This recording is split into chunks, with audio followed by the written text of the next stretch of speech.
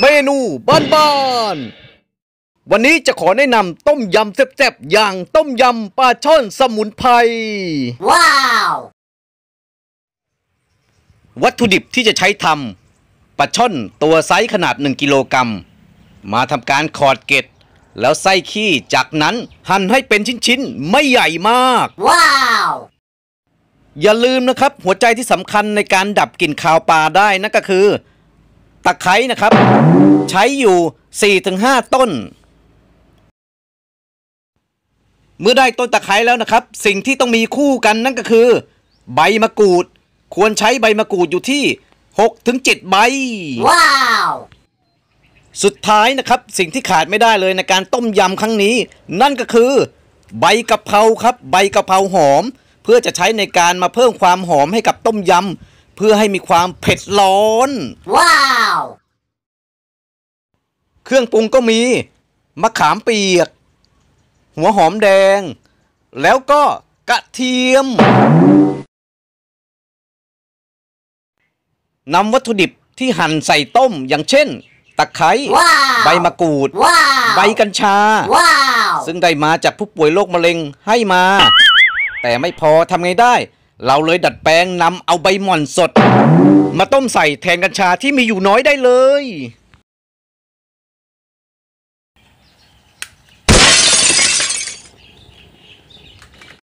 นำหม้อมาตั้งที่เตาไฟ จากนั้นนำน้ำที่สะอาดเทใส่ลงไป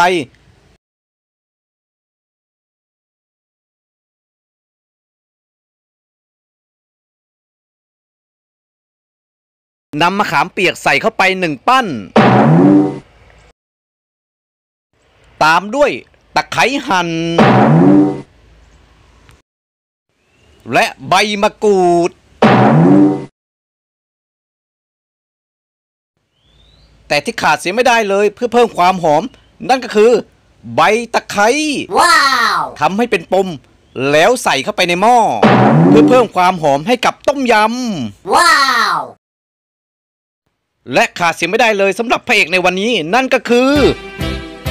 ใบกัญชาสด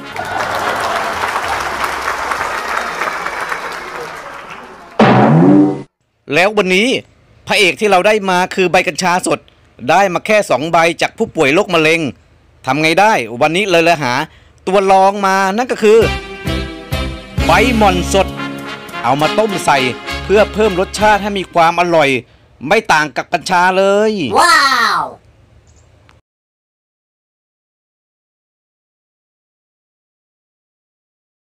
จากนั้นเรามาเพิ่มความหอมของต้มยำด้วย หัวหอมแดง ซึ่งถึงแม้เราจะมีอยู่แค่สองหัวก็ตาม แต่ไม่เป็นไรครับ เราแก้ขัดโดยใช้กระเทียมทุบ เพื่อมาแทนที่ความหอมของเจ้าหัวหอมแดง สุดท้ายเพิ่มรสชาติความเข้มข้นของต้มด้วย เกลือ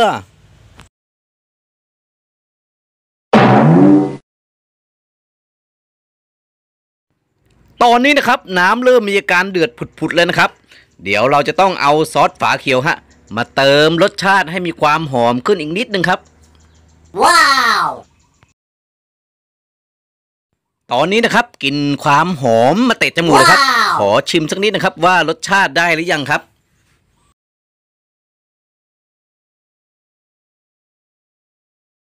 ตอนนี้นะครับมีรสชาติความเค็มของเกลือนะครับ แต่ขาดความหอมของน้ำปลาครับ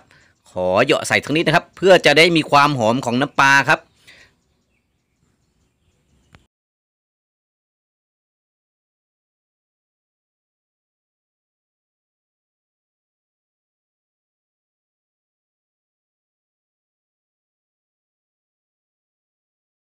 จากนั้นครับสู่ขั้นตอนที่สำคัญครับคือการนำปลานะฮะใส่เข้าไปใน น้ำเดือดๆครับ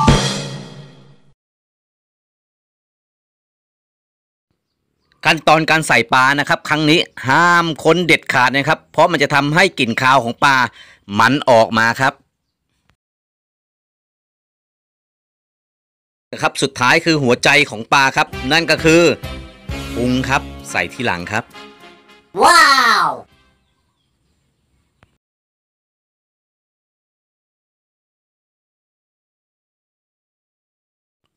จากนั้นนะครับนำกะเพรานะครับ มาเด็ดและใส่เข้าไปครับ วิธีการเด็ดนะครับ ไม่ต้องดึงทีละใบครับ ฉีกขยำบีบคั้นทุกอย่างครับ เพื่อให้ความหอมของกะเพรา มันออกมาเต็มที่ครับ แล้วมันจะมีความเผ็ดร้อนของกะเพรามาเตะที่ปลายลิ้นเราครับ Wow!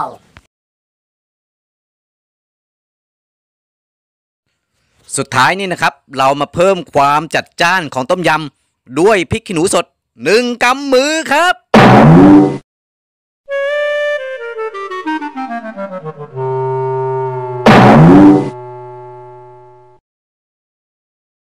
เสร็จแล้วนะครับกับเมนูในวันนี้ที่ทางช่องสตูดิโอพอเพียงเราได้แนะนำครับ กับเมนู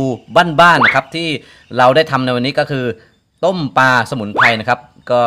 นำปลาที่ได้จากวันนี้นะฮะที่ได้จากรอบมาครับเป็นปลาช่อนสดๆนะครับเอามาต้มนะครับ โดยวันนี้เราได้มีสมุนไพร ที่สารพัดประโยชน์นะครับ ซึ่งตอนนี้กำลังเป็นกระแสเหมือนกัน ซึ่งเป็นสมุนไพรที่มันเหมาะกับครัวเรือนที่ทุกบ้านจะต้องมีครับ เพราะเนื่องจากว่ามันสามารถช่วยรักษาอาการต่างๆได้ และข้อสำคัญว่ามันช่วยให้เราเจริญอาหารแล้วเรานอนหลับครับ Wow! ซึ่งวันเนี้ยผมก็ได้มาพอดี2ใบนะครับ ก็เลยมาทดลองต้มยำปลาให้ดูนะครับวันนี้ เดี๋ยวยังไงผมขอลองชิมดีกว่า เพราะตอนนี้พูดมากไม่ได้นะครับ เพราะมันเขาเรียกอะไรคอแห้งครับ เดี๋ยวขอชิมอ่า หัวใจของปลานะครับ ก็คือพุงปลาครับอือหือ Wow! เห็นไหมมันมีความกรุบของของพุงปลาครับ Wow! ซึ่งเมนูเนี้ยผมจะ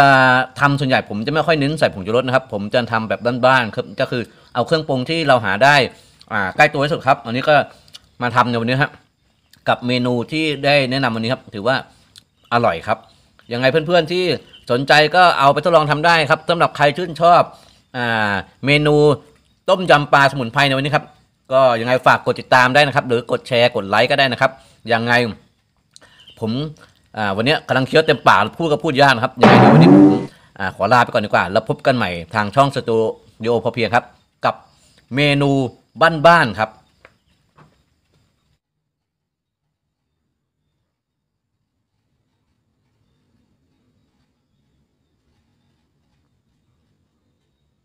ขอบคุณที่รับชมคลิปครับ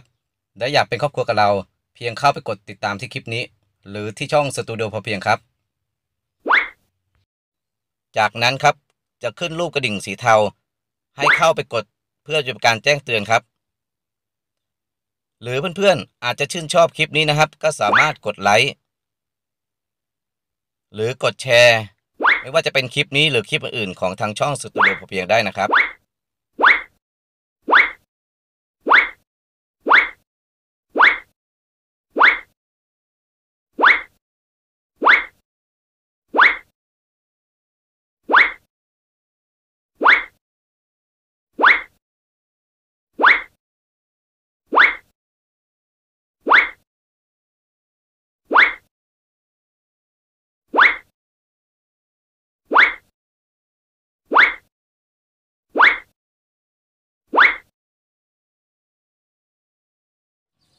ขอบคุณครับ